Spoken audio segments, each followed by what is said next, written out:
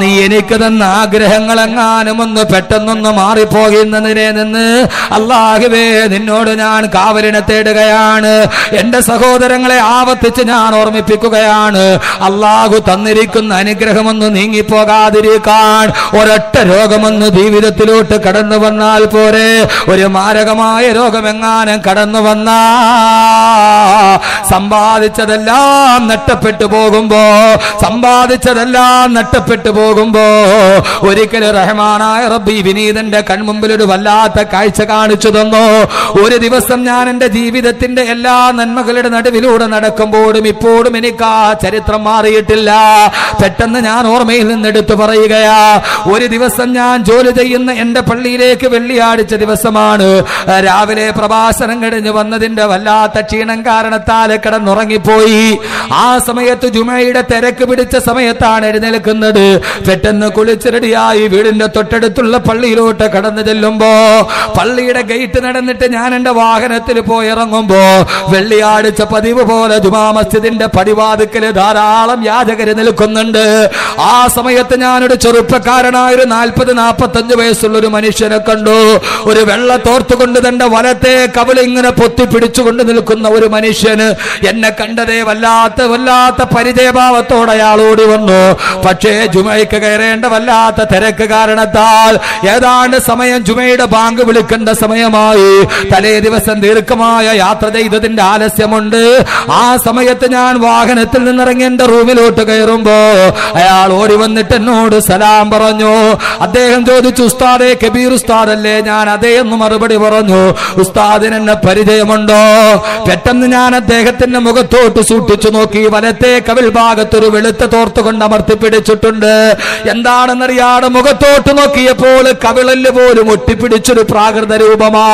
എനിക്ക് അദ്ദേഹത്തെ കണ്ടിട്ടൊരു പരിചയം തോന്നിയില്ല. ഞാൻ പറഞ്ഞു എനിക്ക് നിങ്ങളെ പരിചയം തോന്നുന്നില്ല. അദ്ദേഹം പറഞ്ഞു ഒന്നുകൂടി സൂക്ഷിച്ചൊന്ന് നോക്കൂ ഉസ്താദേ.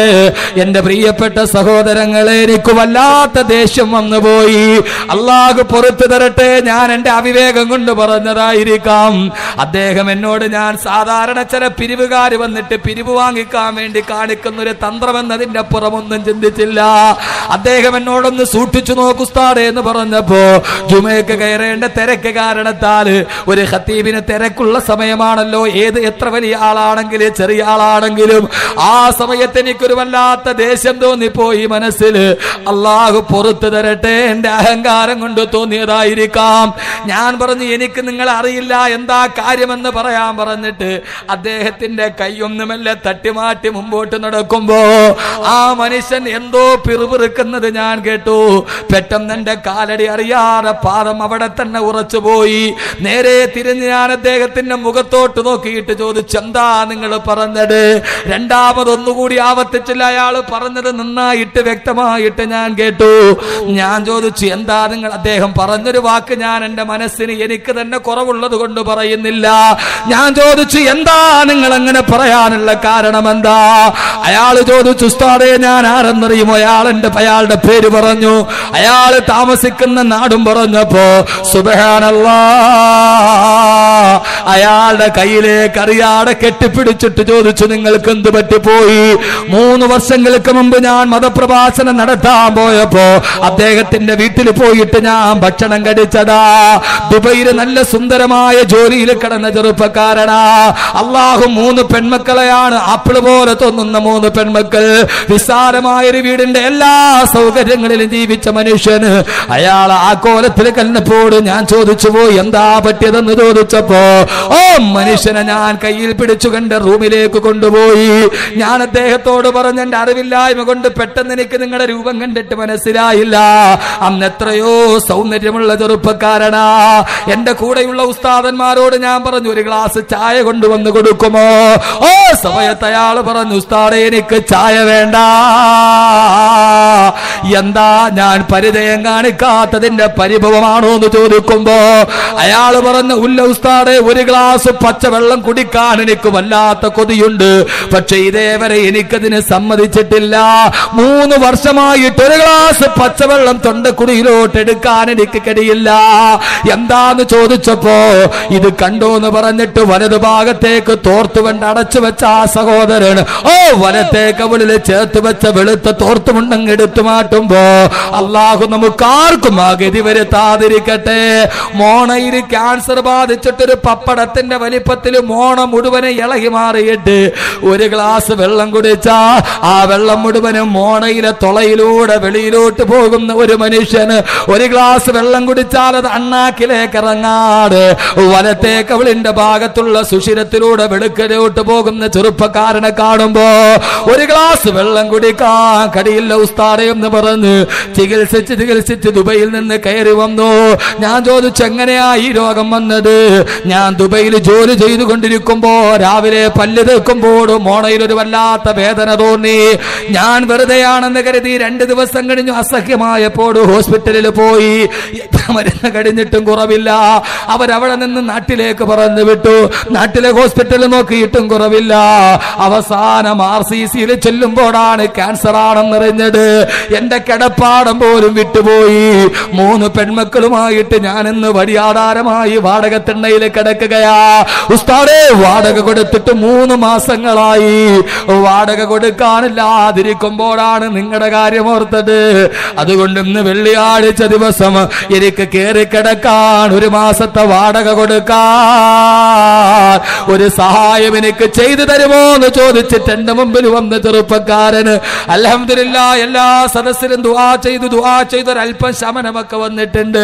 ഒരു രണ്ട് സെന്റ് സ്ഥലം വീണ്ടും വാങ്ങിച്ചിട്ട് അവിടെ ഒരു കെട്ടിടത്തിന്റെ പണി തുടങ്ങിയിട്ടുണ്ട്. അള്ളാടെ അനുഗ്രഹം കൊണ്ട് ധാരാളം ആളുകളെ സഹായിച്ചിട്ടുണ്ട്. എന്റെ പ്രിയപ്പെട്ട സഹോദരങ്ങളെ റബ്ബിനോട് ദുആ ചെയ്തോ. എന്റെ പൊന്നു ചെറുപ്പക്കാരാ എന്ത് അഹങ്കാരത്തോടെയാ റബ്ബിനെ മറന്നിട്ട് നടക്കുക? പൊന്നുമോനെ ഒരു നിമിഷത്തിലെങ്ങാനും റബ്ബെങ്ങാനും ഒരു തീരുമാനമെടുത്ത. നിന്റെ ഈ കാണുന്ന ആറടി ശരീരമുണ്ടല്ലോ. ആ ശരീരത്തെ മുഴുവനെ നിയന്ത്രിക്കുന്ന ഒരു റിമോട്ട് കൺട്രോൾ മസ്തിഷ്കത്തിന്റെ സെറിബ്രല്ലത്തിന്റെ വലതുഭാഗത്തുണ്ട്. വെറും നാല് ഗ്രാം തൂക്കമുള്ള ഒരു ഉണക്കമുന്തിരിയുടെ മാത്രം വലിപ്പമുള്ള നാലേ നാല് ഗ്രാം തൂക്കമുള്ള ഒരു കറുത്ത ഉണക്കമുന്തിരിയുടെ വലിപ്പമുള്ള സെറിബ്രല്ലത്തിന്റെ വലതുഭാഗത്ത് സ്ഥിതി ചെയ്യുന്ന ഹൈപ്പോ തലാമസ് എന്ന് പേരുള്ള ആ ഒരൊറ്റ സാധനമാണ് പൊന്നുമോനെ നിന്റെ ഈ കാണുന്ന ശരീരത്തെ നിയന്ത്രിക്കുന്നത്. അത് പ്രവർത്തിക്കുന്നത് കണ്ടാണ് ഉറങ്ങിക്കിടക്കുന്ന നീ എഴുന്നേൽക്കുന്നത് നിന്റെ ശരീരം വയർക്കുന്നത് നിനക്ക് ഭക്ഷണം കടിക്കാൻ തോന്നുന്നത്. ആ ഒരു സാധനം എങ്ങാനും നാല് ഗ്രാം മാത്രം വലിപ്പമുള്ള ഒരു ഉണക്കമുന്തിരിയുടെ മാത്രം വലിപ്പമുള്ള നാല് ഗ്രാം തൂക്കമുള്ള ആ ഒരൊറ്റ സാധനം എങ്ങാനും അതിനെവിടെ എങ്ങാനും ഒരു കേടുവന്നാ പൊന്നുമോനെ ഇന്ന് രാത്രിയിൽ ചുറ്റുമൂലയിലെ വീട്ടിൽ പോയി കിടന്ന. രാവിലെ നീ കണ്ണുരാ ചുറ്റുമൂലപ്പള്ളിയുടെ മിനാരത്തിൽ പിന്നെ നിന്റെ പേര് വിളിച്ചു പറയും. പത്ത് മണിക്കാണ് കബറടക്കമെന്നേ പറയുള്ളൂ. ഇത് ഞാൻ പറഞ്ഞത് മനുഷ്യ ശരീരത്തിന്റെ ആയിരക്കണക്കിന് സങ്കീർണതകളിൽപ്പെട്ട ഒരേ ഒരു സങ്കീർണതയാണ് പറയുന്നതെങ്കിൽ അള്ളാഹുവിനോട് തരാനല്ല ചോദിക്കേണ്ടത്. അള്ളാഹുവേ തന്നത് നീ നിലനിർത്തണയല്ല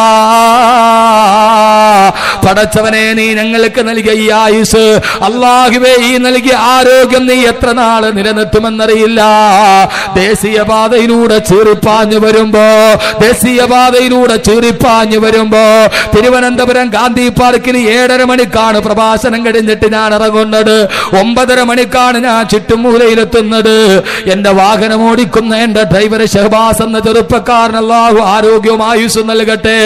വാഹന സ്പീഡിൽ ദേശീയപാതയിലൂടെ പാഞ്ഞു വരുമ്പോ പലപ്പോഴും ഞാൻ പറഞ്ഞു പൊന്നുമോനെ സ്പീഡ് കുറക്കണേ ദേശീയപാതയിൽ ചിതറിത്തെറിക്കുന്ന മൃതദേഹങ്ങൾ കാണുമ്പോ വാഹനത്തിന്റെ അകത്ത് കടന്നിട്ട് വയ്യത്ത് പൊതിയാൻ പോലും പടിയാടെ കൈക്കുമ്പിളിൽ കോരിയെടുക്കുന്ന മൃതദേഹം കാണുമ്പോ പടച്ചറപ്പങ്ങാനും ഒരു നിമിഷമെങ്ങാനും ഒരു തീരുമാനം വന്ന. അള്ളാന്റെ തീരുമാനമെങ്ങാനും ഒരു നിമിഷം വന്നാ എത്ര എത്രയോ മൃതദേഹങ്ങളാണ് ദേശീയപാതയിൽ ചിതറിത്തെറിച്ചുമാണ് പോകുന്നത്. എന്റെ പ്രിയപ്പെട്ട സമൂഹമേ എന്റെ പ്രിയപ്പെട്ട ചെറുപ്പക്കാരാ എങ്ങോട്ടാ നീ നിന്റെ ഓട്ടം എങ്ങോട്ടാ പോകുന്നത്? പടച്ചറബെങ്ങാനും ഒരു ദിവസം എന്ന് തീരുമാനിച്ചു കഴിഞ്ഞാ സൂര്യനെ പടച്ചറബ് ചന്ദ്രനെ പടച്ചറബ് ആ ചന്ദ്രന്റെ നിഴൽ സൂര്യന്റെ നേരെയാക്കിയിട്ട് സൂര്യഗ്രഹണം നടത്തുന്ന റബ്ബ്. ഓ റബ്ബെങ്ങാനും ഒരു ദിവസം ഒന്ന് തീരുമാനിച്ച.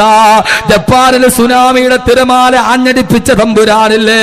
ജപ്പാനിൽ ഭൂകമ്പം ഉണ്ടാകുമ്പോൾ സർവ വിദേശക്കാരും ഭയമിൽ നിന്നിറങ്ങി ഓടുകയാ.